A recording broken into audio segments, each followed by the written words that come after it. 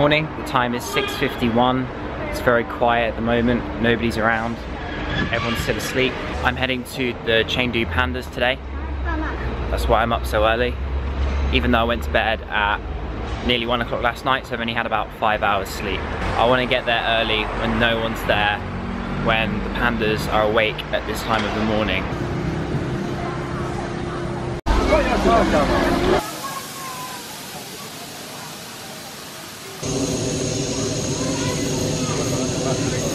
I'm now inside the panda research base. This time of morning is the best time to see the pandas. The bamboo leaves are to keep the sun out and to keep the pandas in the shade to block out the sunlight and keep the area cool. If the temperature goes above 20 degrees, then the pandas will go inside. That's amazing. I'm the only one here as well. I think I made the right decision.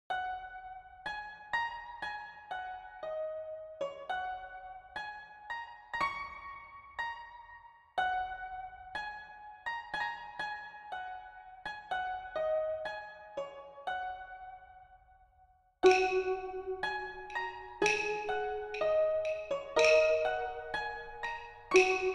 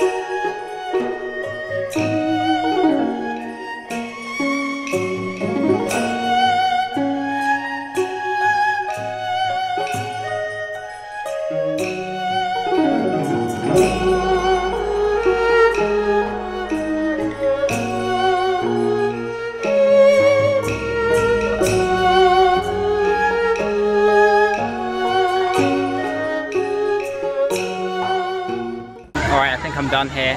Uh, when I came earlier it was much better.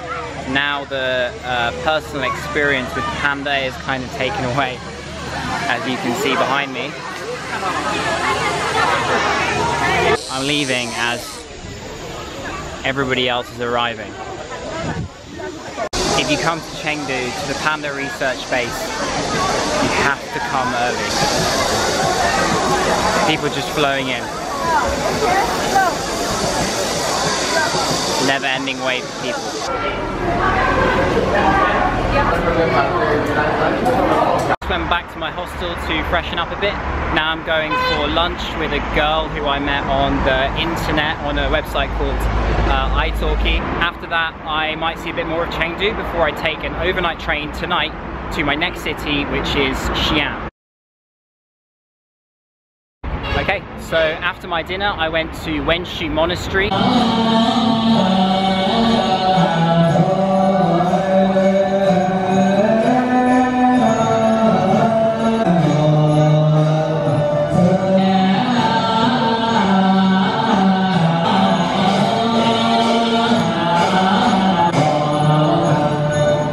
It was pretty cool. Pretty good. So now I'm heading back to my hostel where I'm going to get some food. I've just bought some water for my overnight train uh, tonight to Xi'an, which is at quarter past nine and will arrive at seven o'clock tomorrow morning.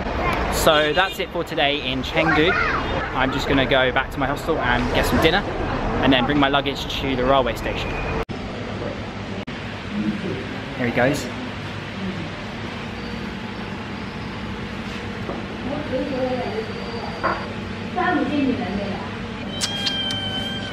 Đó.